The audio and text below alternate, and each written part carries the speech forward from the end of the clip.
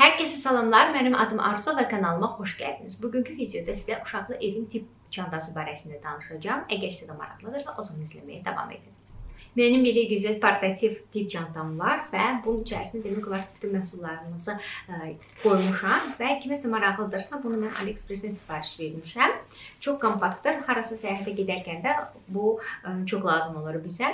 E, demək olar ki, bütün məhsulları burada ə, yerləşdirməyə bacarmışam. Gəlin ilk öncə birinci məhsuldan danışaq ki, hansı ki, bütün evlərdə mütləq olmalıdır. Bu adi klassik civəli termometrdir. Mən hal-hazırda sizə 2 ədəd termometr göstərəcəm. Həm belə ə, civəli olan, həm də belə portativ hal-hazırda çox populyar olan termometrlər. Termometr bütün evlərdə olmalıdır, xüsusilə də uşaqlı evlərdə. Nəyə görə hər ikisini sizə göstərirəm? Çünki bu dijitallar ya bateriyası qutara bilər və yaxud da sına bilərlər, xarab ola bilərlər. Ona görə də əlinizin altında mütləq evdə 2 ədəd olsun.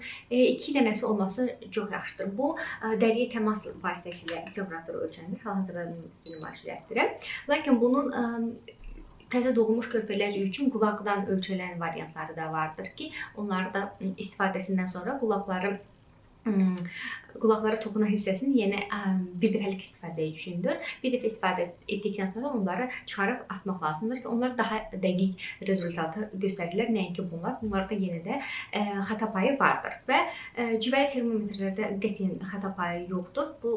Bu klassik variantıdır. Qoltuq altı üçün istifadə olunanda, lakin bunun ağızda istifadə olunan variantları da vardır. Ona görə ikisini də nümayiş etdirdim ki, birdən ə, Allah eləməmiş nəsə bir vəziyyət olsa, hər hansısa bir xarab olsa, mütləq evdə ikisi olsun ki, tez əlinizə çatmış ol əliniz çatsın yəni termometrə. Çünki ə, hərdən elə ə, ağlasılmaz vəziyyətlərdə elə şeylər baş verir ki, adam çaşbaş qalır. Ona görə əlinizin altında mütləq 2 ədəd termometr olsun ki, tək gərəkli olmasın, amma 2 dənəsinin olmağını ə, yaxşı olardı. Xüsusən də indi hal-hazırda hamilə olmuş xanımlara və yeni yenicə uşağı övlad sahibi olmuşlar analara məsləhətim odur ki, mütləq evdə ə, termometrləri olsun.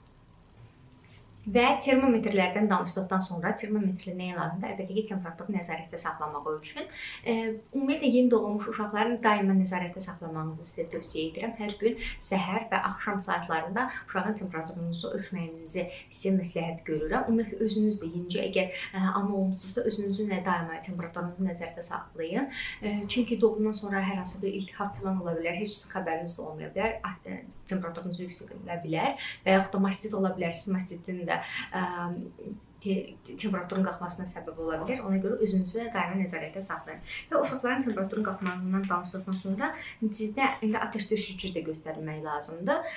Uşaqlarda atəş düşürücü əlbəttə uşaqlara yeni xüsusilə də yeni doğulmuş uşaqlara nə ağız yolu ilə, nə tabletkalarla falan heç cür onların atəşini düşürtmək mümkün deyil. Lakin gözəl bir variant vardır, o da şamlar. Mən burada heç bir markadan falan danışmayacağam sizə. Sadəcə olaraq nə nədən istifadə etmək lazımdır, onu sizə tövsiyə edirəm. Mən burada marka qeyd etmirəm. Siz öz həkiminizlə zəng edirsiniz, məsləhətləşirsiniz ki, evdə hansını bulunduraq. Bəlkə də uşağınızın hər hansı bir hər hansı bir maddələrə allergiyası falan da ola bilər. Ona görə mütləq öz həkiminizlə məsləhətləşin. Mən adi atəş düşürücü şamları evdə mütləq daimi şəkildə bulundururam. Hətta onları mütəmadi olaraq mən tibb çantamıza aşıram, baxıram ki, onların istifadə müddəti də bitməsin. E, yəni daima təzə şəkildə evdə mütləq şəkildə e, bizə həkimimizin tərəfindən tövsiyə olunmuş dozaların miqdarında mütləq atəş düşürücü şamlar saxlayıram. Atəş düşürücü şam tək ki heç kəs, heç bir övladlar, heç bir uşaqlara e, ehtiyac olmasın, amma çox böyük köməyə gəlir. Xüsusən də 37 yarımdan artıq qalxdıq zaman biz e, mənim başıma sadəcə 2 dəfə gəlib şükür ki, e, tək daha olmasın. E, həkimə zəng edir. Əgər həkim sizə məsləhət versə ki, bəli, filan temperatura qədər qədər gözləyin. Əgər hər hansı bir üsulla, məsələn, alnımıza İslam, islah yaylıq qoyuruq uşağın ə, temperaturu saxlamaq üçün sıvı veririk, çox süd veririk. Ə, əgər düşməsə, o zaman artıq şamlara başvurmağın vaxtıdır. Yenə də dediyim kimi həkiminizlə məsləhətləşirsiniz, daha sonra isə bundan istifadə edə bilərsiniz. Və növbəti olaraq sizə yara bandını göstərmək istəyirəm. Yara bandı da mütləq bütün evlərdə olması gerəkən bir ə, maddələrdən biridir. Ə, çünki tək uşaqlı evlərin yox, hər kəsin bunlara ehtiyacı olur. Məsələn, yemək doğrayarkən təsadüfən əlimizi kəsdik və yaxud da dırnaqlarımızı tutarkən kənarından ətlini, e, kutikulanın və ya da xələl yetirdi, o zaman bizim ehtiyacımız olur. Və ya da təraş edərkən cızıq oldu. Uşaqlar da iməkləyə bilərlər və ya da tez-tezə gəzməyi öyrənən uşaqlar ə, yıxıla bilər, sıyrıla bilər hər hansı bir yerə. Ona görə yara bandının olması çox vacibdir. Və yara bandından söz düşmüşkən biz indi gəlin keçək yaraların işlənməsinin xüsusuna. Yaraların işlənməsi üçün isə müxtəlif məhsullardan, müxtəlif maddələrdən istifadə edə bilərsiniz. Hər hansı bir spirtli məhluldan istifadə edə bilərsiniz və ya da adi axar su ilə, sabun su ilə yuya bilərsiniz. Əgər əlinizin altında heç bir şey yoxdursa, biz evdə həmişə betadin saxlayırıq ki, yaraların işlənməsi üçün həm də çox göynətmə digərləri ilə müqayisə. Lakin sizdə yod ola bilər, zilonq ola bilər, hər hansı bir başqa antiseptik spirtli məhlul ola bilər və hətta adi sanitayzerlardan da, koloniyalardan da hətta istifadə edə bilərsiniz. Dediyim ki, əgər bu yoxdursa, o zaman dərhal axar su ilə yuyuruq. Əgər qan vardırsa, ondan sonra isə yara bandından istifadə edə bilərik. Və yaralardan söz düşmüşkən mütləq ə, yanıqlardan da danışmağa ehtiyac var. Bu pantenoldur. Pantenol bütün apteklərdə satılır. Mütləq alıb bunu evdə saxlayın. Hətta mən bunu ə, soyuducuda saxlayıram ki, daha sərin olsun. Birdən Allah eləməmiş ehtiyacımız olar.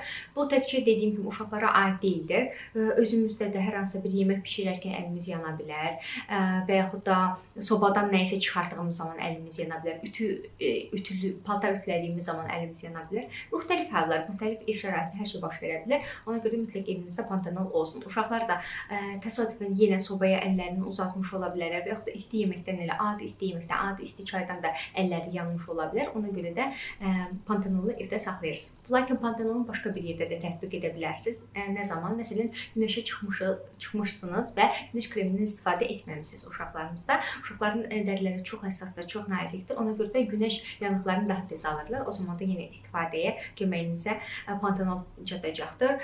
O dədə-baba qaydalarından bəli görmüsüz ki, bəlkə də qatıq filan sürtürlər dəriyə. Yüngülləşdirə bilər, amma bunlar çox təhlükəlidir. Xüsusən də marketdən aldığımız gladde glans op mij. Ehm, Çünki uşağın uşağın dərisinə daha da xələl gətirə bilər, allergiya ola bilər və allergiyanın nəticəsində daha çox yanğı yarana bilər uşağın dərisində və geri dönməz vəziyyətlər baş verə bilər. Ona görə də mən pantenol məsləhət görərdim. Əgər pantenol yoxdursa əlinizin altında, o zaman da aloe vera gelindən filan istifadə edə bilərsiniz. İlk öncə gedirik soyuq su ilə, axar soyuq axar su ilə əlimizi yuyuruq və yaxud da yandırdığımız hər hansı bir bölgəni, ondan sonra isə pantenolu tətbiq edirik və çox tez ə, e, bərpa olacaqdır dəri. Və günəş qoruyucusundan ümumiyyətlə söz düşmüşkən bunu da indidən sizə qeyd edim ki, e, mütləq uşaqlı evdə ümumiyyətlə hər kəsin məncə çantasında e, günəş qoruyucu krem olmalıdır, SPF krem olmalıdır. Çünki ə, indi günəşin intensivliyi daha çox artıb və günəş ləkələri filan əlavə dərinizdə yanıqlar yarada bilər e, günəşin nəticəsində və geri dönməz proseslər baş verə bilər, inanın mənə. Ona görə də mən günəş e, SPF faktorlu günəş kremlərindən istifadə edirəm. Məndəki SPF 50 faktorludur. Bunlar Roche-Posay markasında, amma siz istəniləni istifadə edə bilərsiniz. Shiseidanın, Biodermanın, Biotermin və yaxud da Lancome-un və s. və ilaxır çox həm ucuz büdcəli, həm də bahalı büdcəli var. Mən neytral, yəni orta büdcəlisini göstərirəm sizə. La Roche-Posay-indi. Bunu səhv etmirəmsə 20 manatdır qiyməti. Uşaqlara da uyğundur. Bunun da tərkibində həmçinin pantenol vardır ki, əgər təsadüfən uşağınızda yanıq vardırsa, pantenolunuz yoxdursa, o zaman e, bunun da tərkibində pantenol vardır və bundan da uşağın yanıqlarında falan istifadə edə bilərsiniz. Həm də bariumda bu B5 vitamini falan da vardır bunda. Yəni dəridə əməli başlı qoruyucu qat yaradır. Bundan həmçinin nəmləndirici krem kimi də istifadə edə bilərsiniz uşaq uşaqlarınızda heç bir problem yaratmayacaqdır. Amma ə, e, SPF, yəni günəş qoruyucu faktorlu kremlərin bir ə, e, nüansı vardır ki, onu yeniləmək lazımdır. Yəni uşaqla məsələn hovuza getmişsinizsə və yaxud da çimərliyə getmişsinizsə, uşaq çimərlikdən çıxandan sonra təkrar çəkməlisiniz ki, çünki ə, e, yuyunduqdan sonra bunlar ə, krem axıb getmiş olacaqdır. Və növbəti olaraq sizə belə bir vitamin takviyesini göstərmək istəyirəm. Bunu da istənilən markadan istifadə edə bilərsiniz. Məndəki alman markasınındır, amma adını falan deməyimə ehtiyac yoxdur. Yəni siz öz həkiminizlə məsləhətləşərsiniz. Bu çiyələk və ya da malina dadlarında olur bunlar.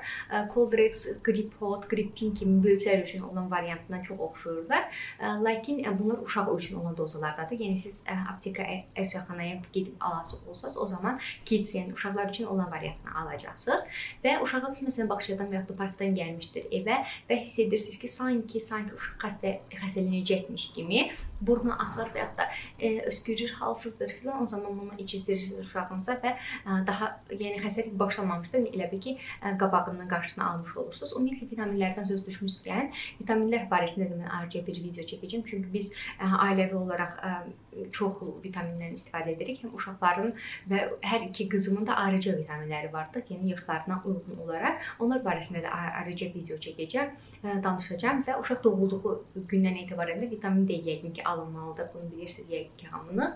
Onu da əlbəttə həkiminiz sizə dozasını falan, həmçinin alacağınız olan vitamin D-nin məsələn markasını falan da sizə daha uyğun olan variantını sizə tövsiyə edəcəkdir ki, bunu da mütləq uşağınız qəbul etməlidir.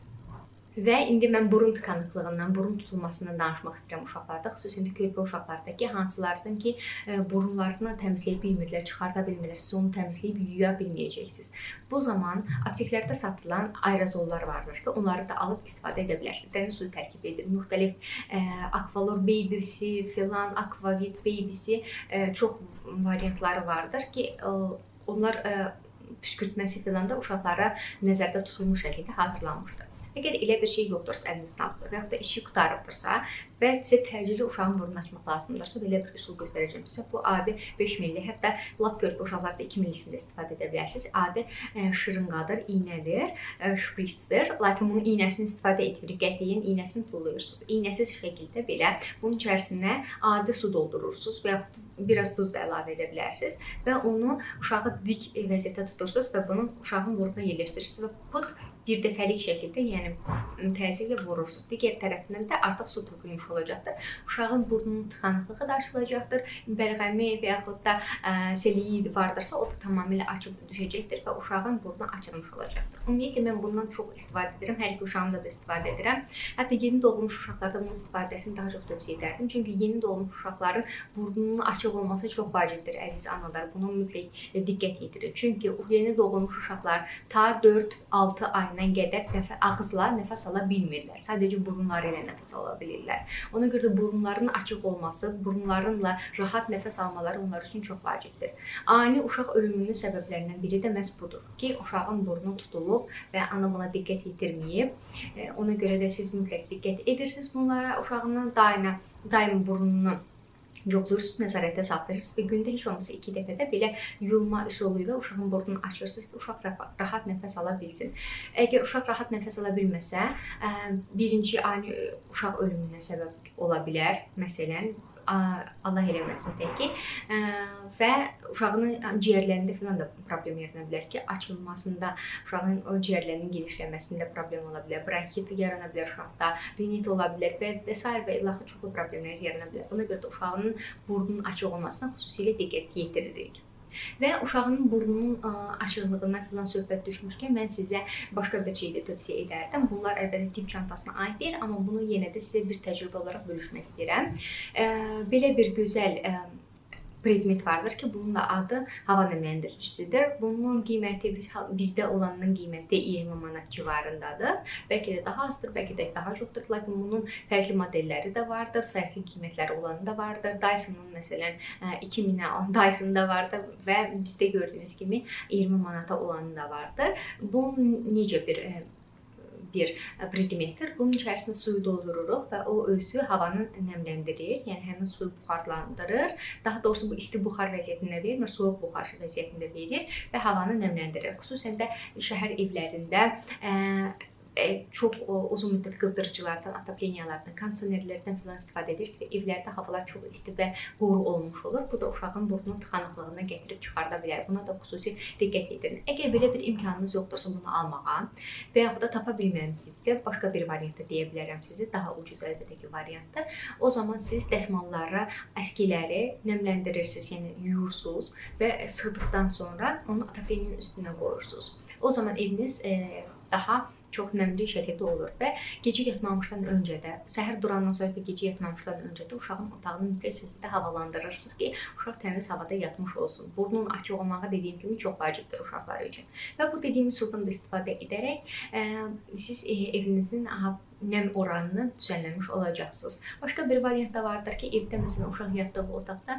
bir hər hansı bir qabda evə su qoymuş ola bilərsiniz ki, həmin suyun buxarı nəticəsində evdə flushness, yəni nəmlilik artmış olsun. Çünki evdə hava quru olduğu zaman uşağın burunda olan seliklər quruyur və burun tıxanıqlığına gətirib çıxarda bilir. Və bu qədər. Ümid edirəm ki, sizə faydalı oldum. Tək ki, heç bir uşaqlar, ümumiyyətlə heç kəs xəstələnməsin, hər kəs sağlam qalsın. Bu qədər. Gələn videolarımızda görüşənə dək sağ olun.